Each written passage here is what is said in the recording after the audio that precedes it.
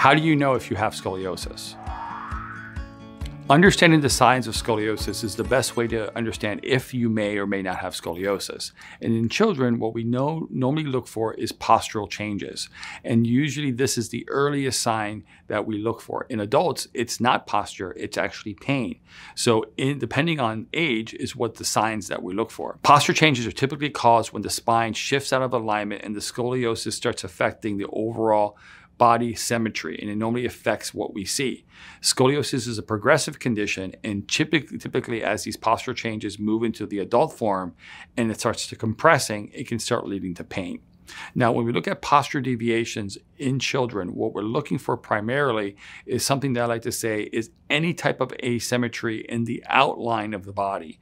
We look at for uneven shoulders, or uneven shoulder blades. We look at development of any type of rib asymmetry, either in the front or the back. We look for uneven hips or uneven waist. We look for arms or legs that appear to hang differently or have different spacing. And this type of asymmetrical outline in the body is the number one thing that we see in children that helps bring on a diagnosis. Now, pain it normally tells us that something is wrong within the body, and it can normally lead to some type of diagnosis or treatment associated uh, with any type of condition. Now, scoliosis, as it progresses in the adult form, it can start to compress because as curves progress in the adult form, gravity compresses down on the scoliosis, causing the curve to progress, and this causes compression of surrounding muscles and tissues. But scoliosis doesn't become this compressive nature in causing pain until the adult form. This is why we don't see children experiencing pain as they develop scoliosis, because what's causing their curve normally to worsen is growth or elongation. So children normally never experience pain as a result of the scoliosis. Now, it's not always 100%, but like 90, 95% of kids with scoliosis experience very, very, very little pain. And if anything, it's very, very mild. In fact, many times parents will discount the treatment associated or needed for scoliosis patients because they say, oh, my child has no pain, so why am I going to treat it? We don't expect children to have, scoli- have pain as a result of scoliosis. In fact, the largest curve I've ever seen has been a 155 degree curve, and this child had no pain associated with their spine. So it's hard to believe that curves can become that severe and that scoliotic and they don't experience any pain. However, for adults, the exact opposite is true. The number one symptom associated with scoliosis and especially scoliosis diagnosis and scoliosis treatment in the adult form is pain. And that's because it's compressing. And it's not really related to the size of curve. It's how much you progress in the adult form. So patients that maybe stop growing with a 20 degree curve and say they progress to 30 during the adult form, they have a 30 degree curve, may have significant amount of pain. Where an adolescent that progresses to 60 degree curve and say they hold it at 60 degrees their entire life may experience no pain, even though the curve is twice as large. So the pain is associated with adult progression, not necessarily size. So we can see adult patients with relatively uh, smaller curves relative to adolescents and have significant amounts of pain. Typically, the pain starts off as general stiffness and general back pain at the site of curvature, but it can definitely evolve and become much more serious and much more significant as these curves get bigger and causing more compression. Most likely, it starts affecting low back, causing pain into the legs, like sciatica type pain, most commonly into the left leg. It can start affecting upper extremities and hands and arms if the curve is higher. It can also lead to weakness, fatigue issues. It can lead to the ability, not ability to stand and walk for long periods of time because of endurance or lack of endurance. So scoliosis progression can start causing lots of things and it can biomechanically lead to other orthopedic problems like hip, knee, and feet problems, just like an underlying car will affect the tires negatively in a, way, in a negative way. Now, the only way to truly know if you have scoliosis is to be professionally diagnosed by somebody who focuses on scoliosis ideally, and that is having your spine assessed to see if there actually is a scoliosis. But if you're seeing posture asymmetry in an adolescent and we're seeing posture asymmetry in an adult with pain, these are high indicators that there's possibly a scoliosis. Now, we know scoliosis involves an unnatural sideways curvature of the spine, and there must be a rotation associated with this curvature, making scoliosis a true three dimensional problem. This rotational component must be there for there to be a true, true scoliosis, and the rotation is always into the concavity of the curvature.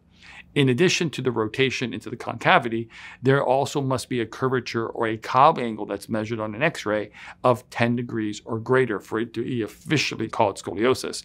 However, I've seen patients with 8 or 7 degree curves that I truly have rotation to still be diagnosed with scoliosis because the patterns are still there. But normally, 10 degree Cobb angle with rotation into the concavity on some type of scoliosis image to tell us that we truly have scoliosis. Now, other than postural changes and pain associated with compression, what are some other signs to, of scoliosis to watch for? One big thing is something that we call changes to balance and coordination. Changes to balance and coordination can happen for a couple of reasons. One, as the spine is growing and is growing less symmetrically, that it can affect something we call body awareness and proprioception.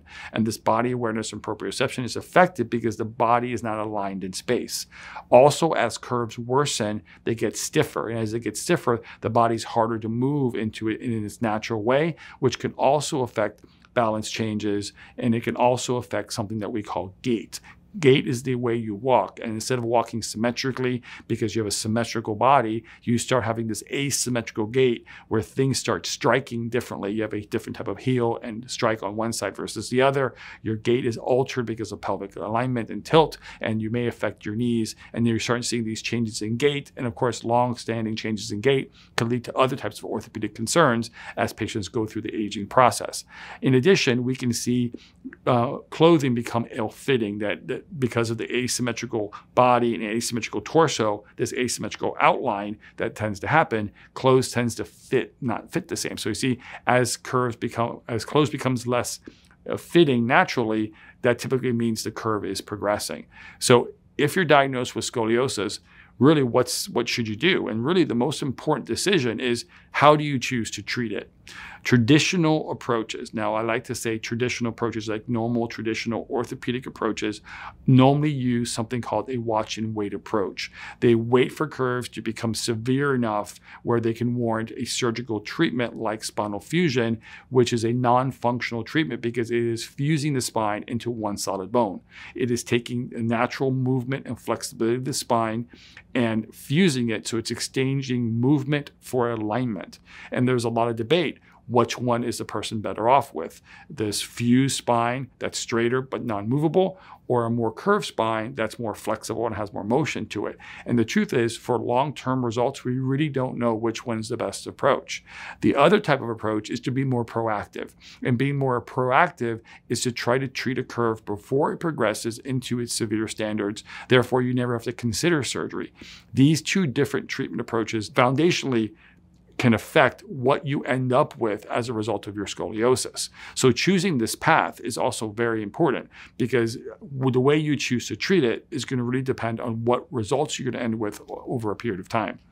We know scoliosis is a progressive disorder, and we definitely are pro you being aware, and we're also pro of early detection. But I believe early detection is only important if you're going to treat early. If you're going to detect it early and still let it worsen and still let it progress to where it becomes a surgical level curve and your end treatment ends up being surgery, then finding it sooner sooner didn't really help us because you're still ending up with the same result, which is surgical intervention. Now we know we can never guarantee results, but we know when scoliosis is treated early to its diagnosis and we treat it when it's less complex, less severe, less rigid, we know the, the idea of there being a positive outcome is more likely. Thanks for watching. I hope you found this information helpful. If you'd like to hear about other topics and information on scoliosis, type in the comments below and let us know. And finally, subscribe and hit the bell icon to be notified of when we publish content. Thanks.